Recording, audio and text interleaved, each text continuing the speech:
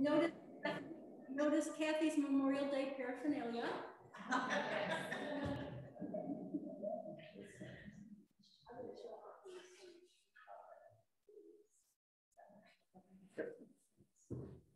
Okay, so I'm glad you're very relaxed congregation. So nice to have a relaxed congregation. All right. Woo, you can hear me.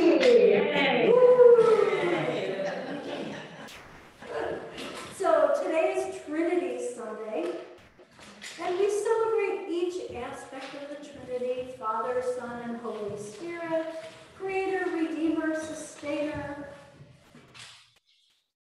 This morning, um, one of our graduates from she is a seminary graduate. She's actually ordained, but she went to Nichols Church when she was a little girl. And she sent me a funny thing about Trinity. So it's like these two Irish men, old, like in, you know, like in robes, asking St. Patrick to explain the Trinity in simple language so you can understand. And St. Patrick says, well, it's like water. Water is vapor and ice and liquid. And then one of the um, Irish uh, peasants says, oh, that was a heresy, and he quotes which heresy. and then St. Patrick says, well, it's like the sun radiating light and heat and something else. And then they, there was another heresy, and he went on and on, and all these Irish peasants told St. Patrick that's a heresy, so St. Patrick said, well then, it's just a mystery. yeah, that's good. He said it's true. So Richard Rohr, who I listen to a lot, and you know, describes the Trinity as a flow of relationship. An interbeing flow from one to the other and back again in a circle and a dance and in relationship. And he reminds us that sometimes our greatest dis-ease is our disconnection to each other. And when we are able to connect and be one in this flow, then we have union. Yoga too? Union, oneness, unity. So all the great wisdom traditions remind us how connected we are, how we're all one, and how we can join the flow and the dance of the Trinity and relate to each other and become light, bringing light, being enlightened, illuminating, and yeah, just radiating joy.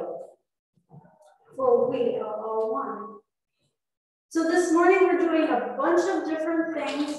The bulletin today, you'll notice, is weird because this is what I use for leaving home usually. This is the format I use when we meet out in the woods. and it's very simple. One of, and we usually wouldn't be reading the, the psalm, but I added that for your comfort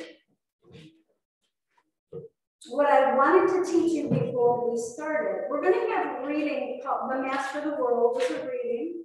And we have four readers that will stand uh, around the sanctuary. And while we're reading, Vicky's going to be playing a tune. And then after we're done reading, we're going to sit down, we're going to do a chant. We'll probably sing it like four, five, 25, 30 times. Kidding. Whatever Vicky thinks. and here's the two.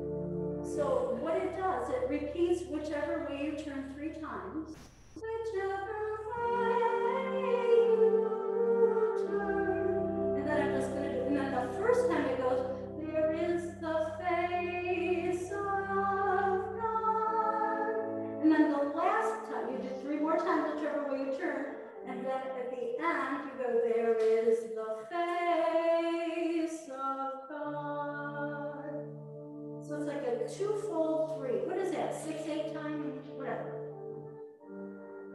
So you'll be hearing that too. The other songs you probably know, that are in the purple hymnal. And um, I think that's all we need. I thank you. Can just learn that. Amen. So let us um, gather, take a breath, be present,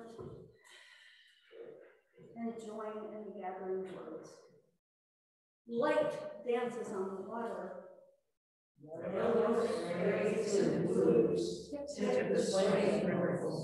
Light kisses the ground. Through a filter of leaves, through shadow and cloud, the light embraces the earth. Earth, air, water, all in relationship. Created in light, a community of unity.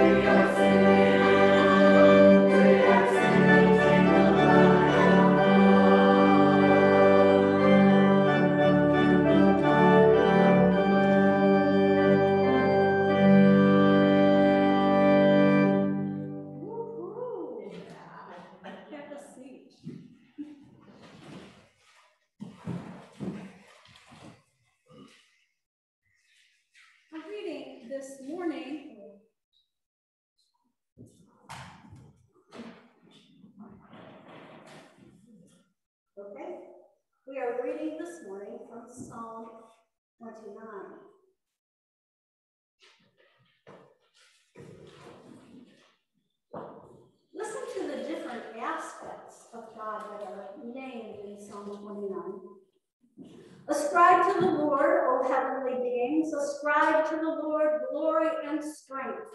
Ascribe to the Lord the glory of his name. Worship the Lord in holy array. The voice of the Lord is upon the waters. The God of glory thunders. The Lord upon the waters. The voice of the Lord is powerful. The voice of the Lord is full of majesty. The voice of the Lord breaks the cedars. The Lord breaks the cedars of Lebanon. He makes Lebanon to skip like a calf and Sirion like a young wild ox. The voice of the Lord flashes forth flames of fire. The voice of the Lord shakes the wilderness. The Lord shakes the wilderness of Kadesh. The voice of the Lord makes the oaks to whirl and strips the forest bare. In his temple all cry glory. The Lord sits enthroned over the flood. The Lord sits enthroned as king forever. May the Lord give strength to his people. May the Lord bless his people with peace. Holy wisdom, holy word. Thanks be to God. Thanks be to God. I didn't put it in. So, let me tell you about what we're going to do next.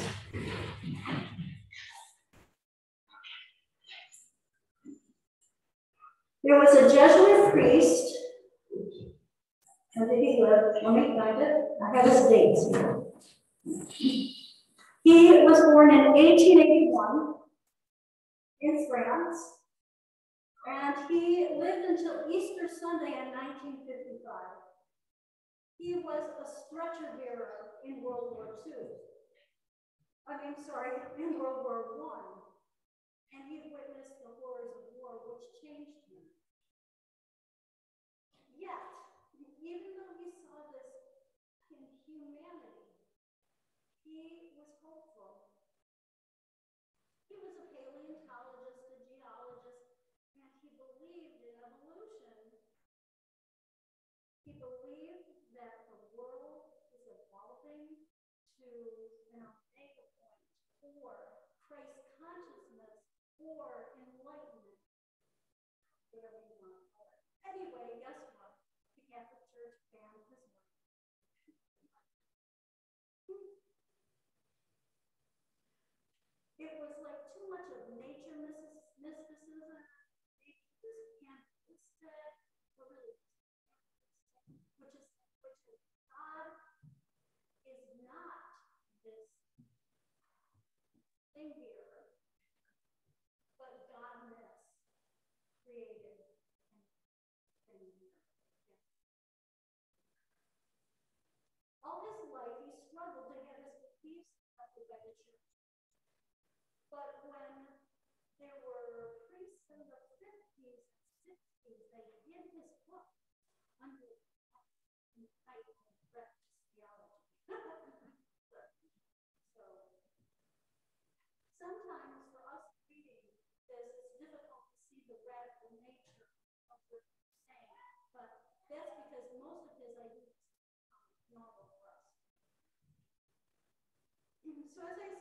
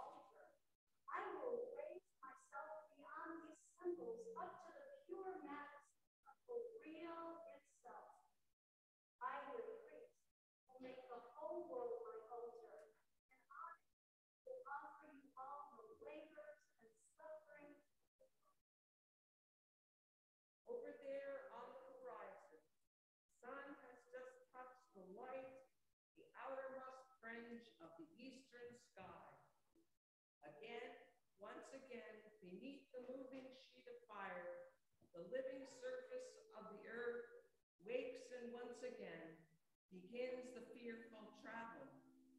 I will place on my paten, O God, the harvest to be won by this renewal of labor. Into my chalice I shall pour all the sap, which is to be pressed out this day from the earth's fruits. My chalice and my paten are the depths of a soul laid widely open to all the forces which in a moment will rise up from every corner of the earth and converge upon the spirit. Grant me the remembrance and mystic presence of all those whom the light is now awakening to a new day. One by one, Lord, I see and I love all those whom you have given me to sustain and charm my life. One by one, I also number those who make up that other beloved family, which has gradually surrounded me. Its unity fashioned out of the most disparate elements, with affinities of the heart, of scientific research, and of thought. And one by one, more vaguely, it is true, yet all inclusively, I call before me the whole vast anonymous army of living humanity. Those who surround me and support me, who I do not know. Those who come and those who go. Above all, those who in field, office, laboratory, and factory, through their vision of truth or despite their error, truly believe in the progress of earthly reality, and who today will again take up their passionate pursuit of the light. This restless multitude, confused orderly, the immensity of which terrifies us. This ocean of humanity whose slow, monotonous wave flows trouble the hearts of even those whose faith is most firm. It is to this deep that I thus desire all the fibers of my being should respond all the things in the world to which this day will bring increase, all those that will diminish, all those too that will die, all of them, Lord. I try to gather into my arms so as to hold them out to you in offering. This is the material of my sacrifice, the only material you desire. Once upon a time, men took into the temple the first fruits of their harvest, the flower of their flocks. But the offering you really want, the offering you mysteriously need each day to appease your hunger, to stake your thirst, is nothing less than the growth of the world born over unwant, out, unwant in the stream of universal becoming. Receive, O Lord, which your whole creation, moved by your magnetism, offers you at this dawn on a new day. This bread, our toil, is of itself, I know, but an immense fragmentation. This wine, our pain, is no more. I know then a draught that dissolves. Yet in the very depths of this formless mass you have implanted, this I am sure of, for I sense it, a desire, irresistible, hailing, which makes us cry out, believer and unbeliever alike, Lord, make us one. Lord, make us one. I invite you all to join that response. Lord, make us one. Lord, Lord, make us one.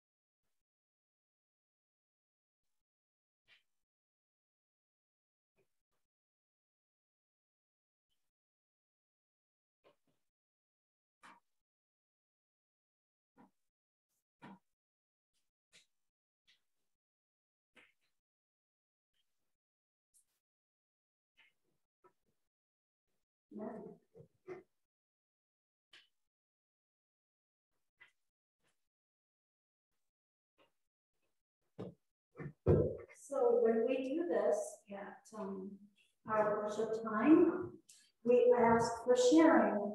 And, um, I know, um, a lot of you are uncomfortable with sharing anything except prayer concerns, but we'll do that too. Um, but I asked a question about the relationship. And about unity and the sacredness of everything. So we have microphones that, you know, Kathy can pass around the microphone for whoever wants to share. Oh, Carol has another thing. Great. That's two. So don't be shy. Anything you say is good. I'll say something, Thank you. hopefully not too emotional. But yesterday I finished reading the book Brain Shark by Sanjay Sanjay Gupta, who is one of the national medical correspondents. And a lot of the end of the book was about Alzheimer's and the mistakes that families make and the good things that families do. So even though Susie did not have, oh, my sister Susie, did not have Alzheimer's, she had a lot of neurological um, problems. And so her memory wasn't that good, but we had so many wonderful people unified together. Um, friends, Kathy and Kathy, um, her daughters, my sister, my brother, neighbors and friends. The woman had more friends than anybody I ever met in my life. And so I got to the point where I called it Team Susie. But when I read that last emotional chapter in Sanjay's book, I just thought how blessed we were to have that unity. Because as you look around for many people who are in long-term care, um, like Linda Banford, who so badly want to come home, is home after eight years, but now feels like she doesn't have any um, any support system at home. She only has a son. Um, Parton and Kenny Rogers sang a song, You Can't Make New Old Friends. And I was thinking of Linda when, you know, she, she just lost that whole unity, community that she had. So if you have time and you'd like to stop down and visit her, um, she would love visiting. And that was long and I'm sorry. That's wonderful. Thank you. Yes. Um, on on Wednesday, our Greek group is going to be starting up again. And it's for anyone who has suffered any kind of loss, not just the death of someone you love, but any kind of loss. Please join our group. It's going to be a lunch at one o'clock Wednesday, June 9th at Grande's. And please call either Janet Stengel or me and just let us know if we're coming, so- if you're coming, so we can give Grande's an estimate of how many people will be there. And it's another kind of coming together, unity. Yes, thank you. June 9th, Greek group at Grande's, one P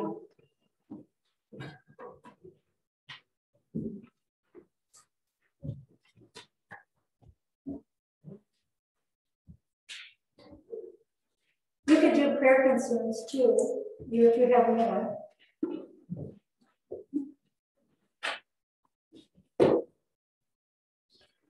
Yeah. Um, Yes, Brenda Castle's husband, Paul, um, lost his uncle Joe. And they have, Brenda and her husband have had a lot of loss in their family, um, friends and, sorry, friends and family. So they, they really, they really are grieving in, in many ways. So if you would keep, um, Brenda and Paul Castle and their friends and family in your prayers, I appreciate it. Brenda, Paul, Castle, thank you. I'm going to Ohio tomorrow to babysit my grandchildren while my son teaches teaches and my daughter-in-law works from home. So I'm asking for traveling mercies because I don't know how the traffic's gonna be on Memorial Day weekend. Traveling mercies for travel.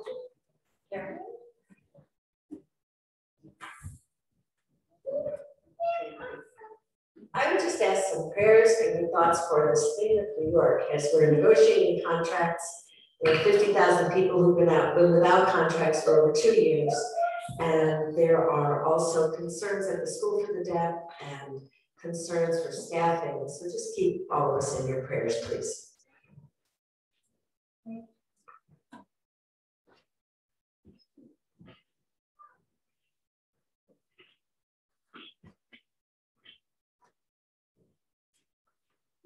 Let us be at prayer.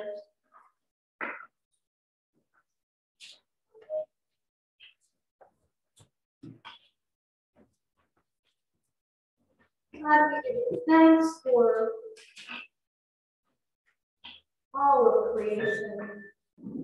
That is all of our relations. Help us to live in unity and in harmony even with those we disagree with. We especially pray for the New York State uh, teachers as they negotiate contracts and for the Rome School of the Deaf and for all teaching communities that work with our children to help them grow into citizens that care for one another, give them wisdom, and courage and insight.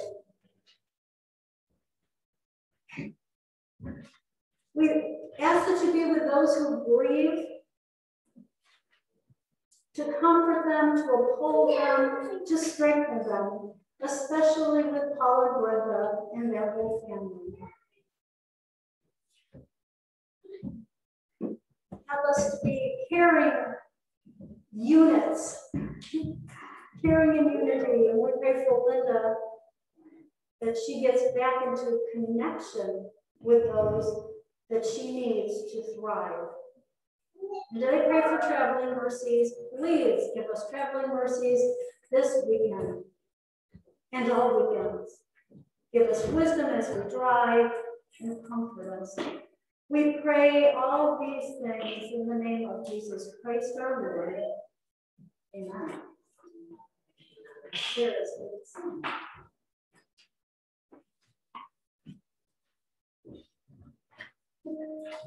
is.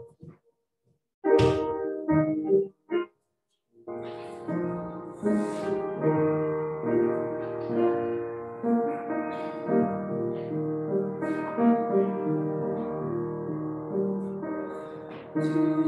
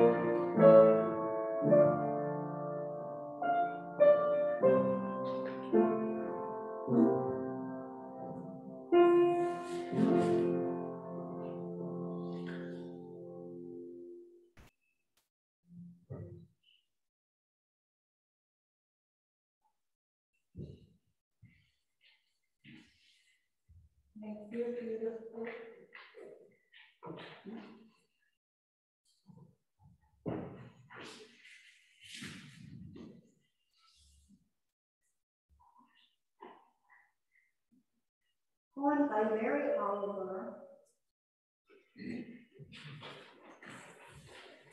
When I am among the trees, especially the willows and the honey locusts, equally the beech, the oaks, and the pines, they give off such hints of gladness. I am, I would almost say that they save me and daily. I am so distant from the hope of myself in which I have goodness and discernment, and never hurry through the world, but walk slowly and bow often. Around me, the trees stir in their leaves and call out, Stay a while. The light flows from their branches. And they call again, It's simple, they say. And you too have come into this world to do this, to go easy, to be filled with light, and to shine.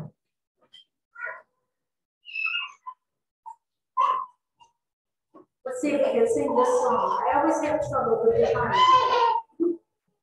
We have, we have strong singers.